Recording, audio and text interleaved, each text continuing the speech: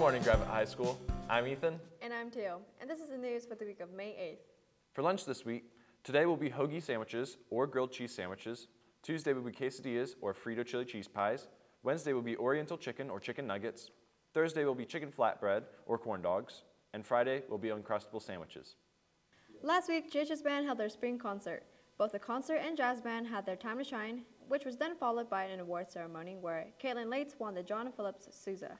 Additionally, GHS Choir had their spring concert on May 4th. Both choirs sung and showcased exceptional talent. Last weekend, baseball and softball regional tournaments were held here on our campus. Both our baseball and softball teams entered the tournament as district champs, having won their respective district tournaments the week before.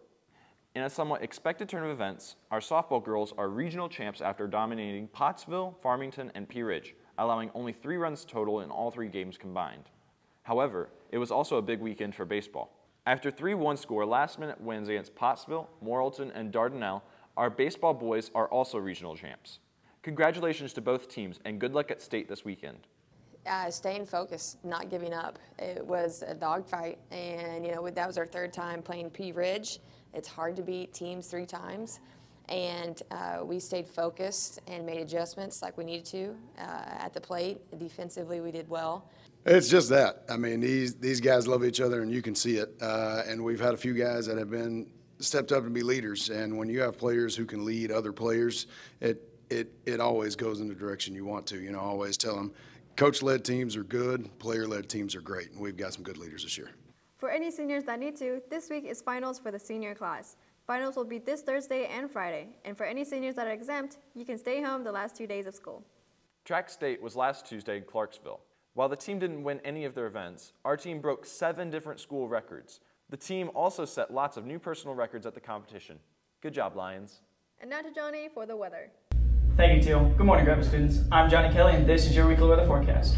Now, this week is going to be a little bit more wet than last week, uh, but on Monday we start dry with some partly cloudy skies and a high of 84 with a low of 63.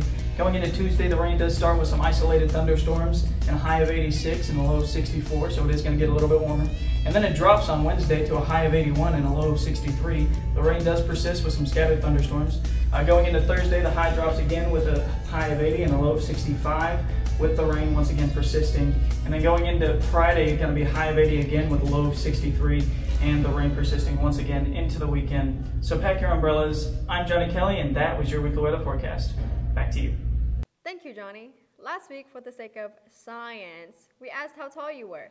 33% of you said that you were between 5'4 to 5'7. 29% of you said that you were between 5'8 and 5'11. 21% of you said that you were between 5 foot and 5'3. 12% of you said that you were over 6 foot, and 5% of you said that you were under 5. For this week's survey, who is your favorite teacher?